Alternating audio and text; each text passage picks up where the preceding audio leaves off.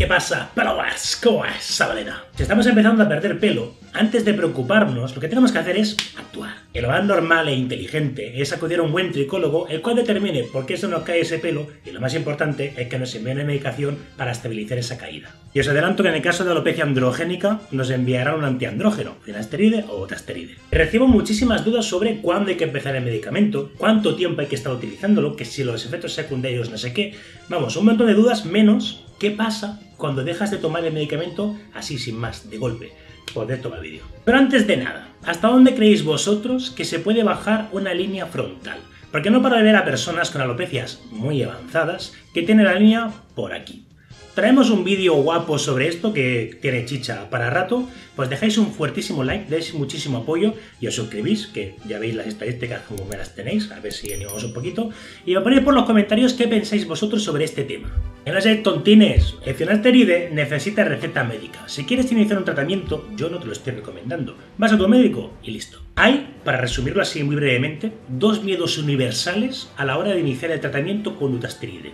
El shedding y los efectos secundarios. El efecto shedding es una puñeta. O sea, lo reconozco porque lo he sufrido un montón. Es que a nadie le gusta empezar un tratamiento para dejar de perder pelo y perder más. Pero recordad que el shedding hay que verlo como algo positivo, es decir, cuando el medicamento actúa, pues al final la unidad folicular lo que hace es desprender el cabello más débil para dar paso a uno más fuerte y grueso. El tema de los efectos secundarios es todo un mundo, pero me gustaría leeros por los comentarios qué efectos habéis tenido vosotros y si los habéis podido solucionar. Tengo que deciros que de toda la gente que me escribe con efectos secundarios, muchos directamente suspenden la medicación, pero hay otros que con su profesional médico lo que hacen es reducir la dosis o hay otros que también lo que hacen es alternarla durante días y los efectos secundarios van desapareciendo. Es posible que en algún momento de nuestra vida tengamos alguna situación que nos lleve a dejar la medicación del dutasteride.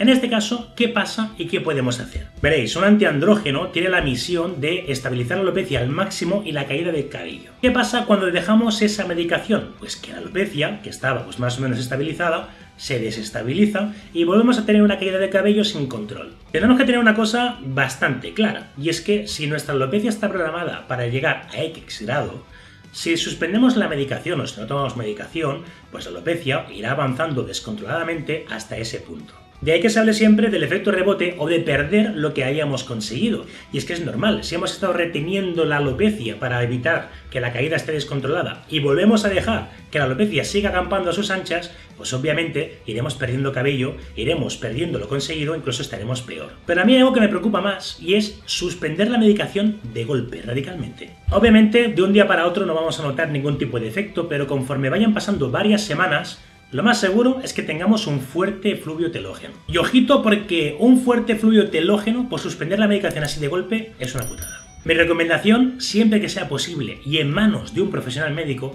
es ir reduciendo paulatinamente muy poco a poco la medicación hasta la suspensión total. Creo que el impacto que podríamos recibir al cortar la medicación se reduce muchísimo si lo hacemos de manera controlada que no se la hacemos de golpe. Esto pasa un poquito igual con el minoxidil. Y cuidado que hay que tener en cuenta que cada persona es un mundo. O sea, quizás yo suspendo la medicación de golpe y me quedo calvísimo y hay otras personas que no notan nada. También es cierto que la edad y lo activa que esté nuestra alopecia va a jugar un papel muy importante en esto de suspender la medicación. Hay que tener en cuenta que un buen pellower se suscribe al canal, hace las cosas con cabeza y acompañado de su profesional médico y está atento al próximo vídeo. Muchas gracias y un abrazo.